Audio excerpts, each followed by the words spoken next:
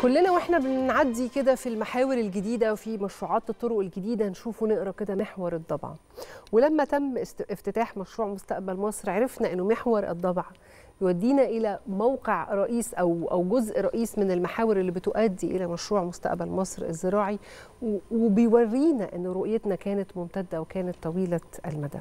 كنت بسأل حضرتك دكتور قبل الفاصل عن آه، مصادر المية للدلتا الجديدة. مم.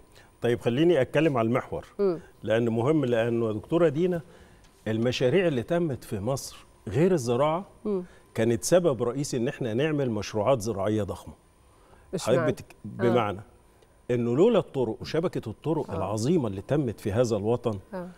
آه من طرق وكباري وأنفاق ومحاور آه. هي اللي شجعت الاستثمار في كل شيء طب.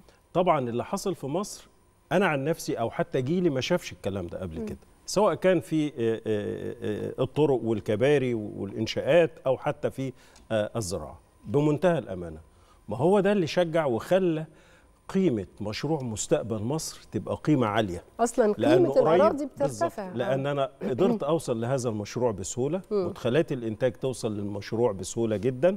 كمان مخرجاته. طب. سواء كان للسوق المحلي أو. للتصدير المواني المطارات كل ده قريب. فالطرق والكباري الحقيقة ليها دور كبير جدا في إن هي تشجعني إن أنا أستثمر في آه، مشروعات آه، ضخمة. بالنسبة لمشروع مستقبل مصر. مصادر الميه أنا معاك. مصادر الميه طبعا قبل أنا قلت لحضرتك إنه قبل ما يتم العمل في هذا المشروع تم دراسة كل شيء بمنتهى الدقة. ومشروع مستقبل مصر الحقيقة المسؤول عنه وأنا لازم أقول ده بمنتهى القوة القوات الجوية.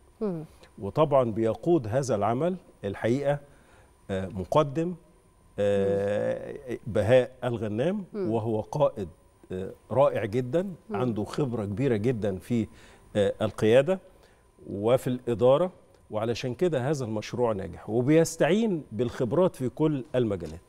ما قفلش على نفسه يا فندم لكن استعان بكل آه، الخبرات سواء كان من الوزارات أو من القطاع الخاص والمستثمرين. طبعا كانت أهم الوزارات آه، المشتركة في هذا العمل وزارة الموارد المائية والري.